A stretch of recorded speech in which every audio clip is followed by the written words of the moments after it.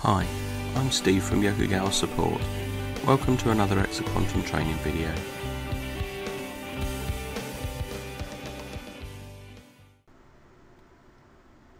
In this video, I'm going to show you a few basic troubleshooting steps to use when you can't get tag data from an OPC server.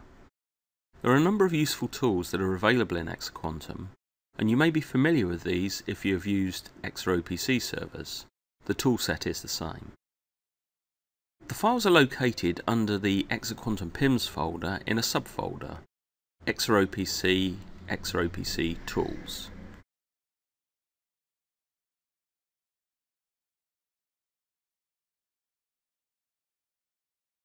It's quite useful to create a shortcut to this folder as these tools get used quite a lot.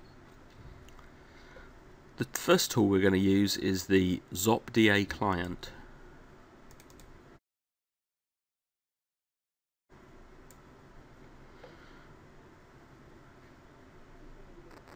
We launch the application and in the node text box we put the name of the machine we want to connect to.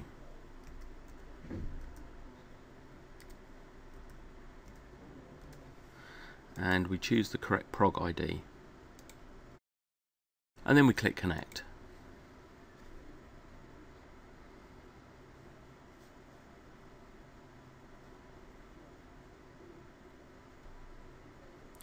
Okay, so that's not good. This error means the tool can't connect to the OPC server at all.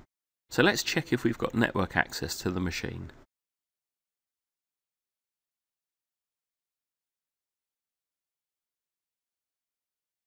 We open a command window and we use the ping command to check if the machine's accessible.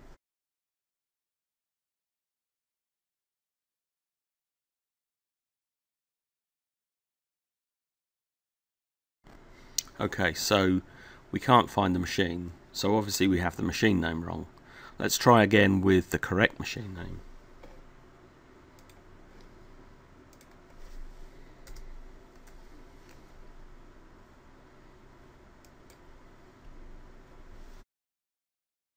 So this time we get a different error, but when we close the error message down, we can see that we are connected. So this indicates that we have got the right machine and we're connecting to the machine, but the error 7005 usually means access denied. So as the account we're logged in as, we don't have permissions to access that server. And this is quite a frequent problem. So let's log in as the Quantum user account because that's the account the Exaquantum services run as, then we can try again.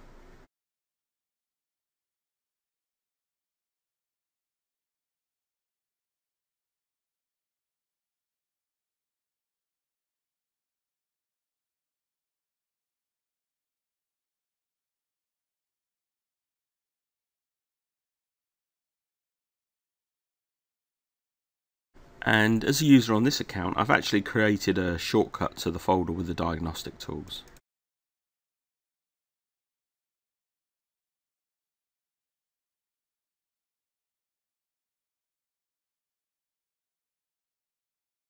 So once again I enter the same information and click connect. And now I get no errors and if I click the get states button I can see information about the OPC server. So we're obviously connected now. The next thing to do is to see if we can actually read some data. So we choose select add and then enter the name of a data item and function block that we know exists.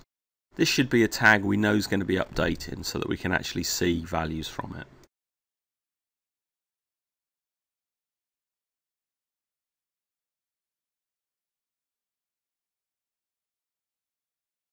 I add the item and click device read and we can see there's a value there. So the Exaquantum server can read data from the OPC server.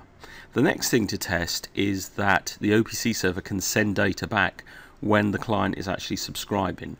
Exaquantum uses a method of subscription. So to do that we check the active and subscribe buttons and you'll notice that as soon as we do that the value are now started updating which means that the OPC server can send the data back through. Now often the reason the OPC server can't send data back through is if there's a firewall blocking the connection. So let's check what happens when we switch on the Windows firewall.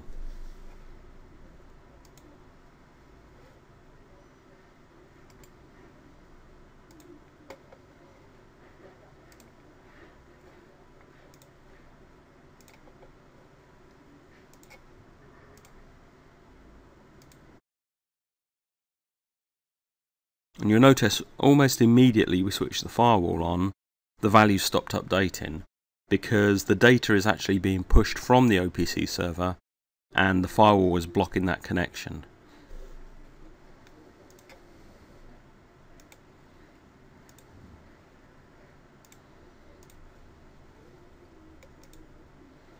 If we turn the firewall off, then after a short time the subscription should start working again and we can see the data is updating.